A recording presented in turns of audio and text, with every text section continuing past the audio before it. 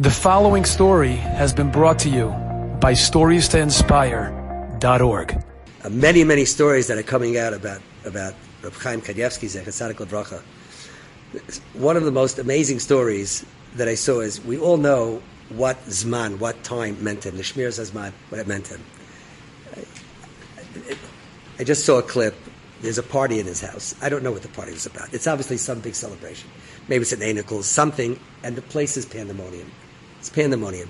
Reb Chaim has nothing to do with it. He's sitting there learning his Torah, completely oblivious, right? There was no such thing. Nothing was a vatal right? The, the moments, the, the minutes that, that he had, you know, that he spent even with the public. I was Mikatza, the, like the, the whole source of the buha. What's the source of the buha? Because seconds and seconds and seconds pile up, right? They, they pile up. So said the shmir zman that he had was hafla But there was one thing that he did with his man, it didn't make a difference. His, his, his son said by the Shiva, he said that whenever his mother, uh, whenever his father ate, whenever Chaim ate, he would not eat until the Rebbitzin came into the room with to eat with him. Never did that. And he said sometimes it was not seconds, but many, many minutes. And it didn't make a difference. And if it meant not eating, he wouldn't eat.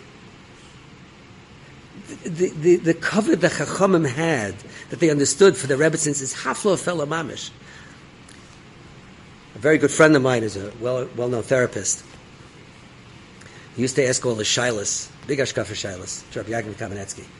Rabbi Yankov in those days lived on East 9th Street by his son, Rabbi Bremel Zechron Levracha. And he was very, very accessible those days. You can go into it was very easy to go to Rabbi Yankov. And so my friend went into Rabbi Yankov to ask him something. And when he came in, his Rebbitzin was, was, was a second Rebbitzin. And he said, and the Rebbitzin comes in, and this fellow comes in. So she says, "Would you like to have a tea?" So Rabbi said yes. I think my friend deferred. Okay. She comes back a few minutes later, and in the meantime, Rabbi starts telling my friend about his marriage. Unbidden, without an answer. He said that after his first wife was Nifteris, he had decided that basically his life was over on some level. And if you know anything, he moved to Israel took a chavrus, a dentist, tremendous lamachachim. The dentist was retired, and Keely, he was retired. He was in Mattersdorf, had an apartment in Mattersdorf. And they sat and learned. If I remember correctly, it could be in Torah or one of the Batei Midrashim there. They sat and learned chavrusas. That's what it was. After learning with chavrusa for a while, chavrusa tells him, he says, "You're a Rebbe Kamenetsky." This is what he's telling my friend. The banker is telling this to my friend. He says, "You're a Rebbe Kamenetsky.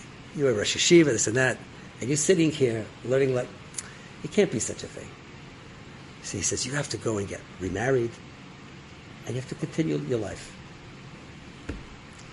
Kachav, Shafin Mashidach, he moved back to America, remember, moved to Monsey, yeah.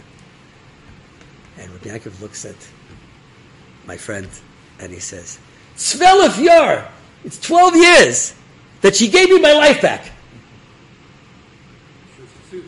That's right.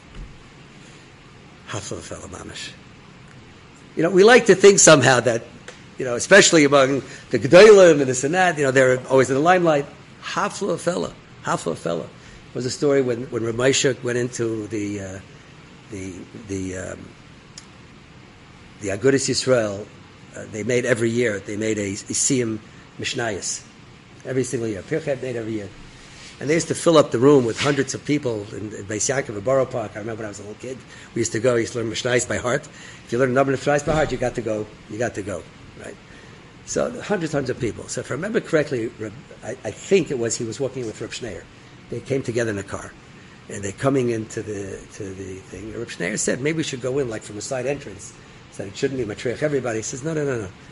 And, and he went into the front and of course, when they went into the front, the whole crowd stood up and and that. And afterwards, Shnei said, Why did you make such a public spectacle? So he said, For us, Taka, we don't need it. But our wives, who put in so much into us, put so much effort, they, sh- they should see what it's all about. Enjoyed this story?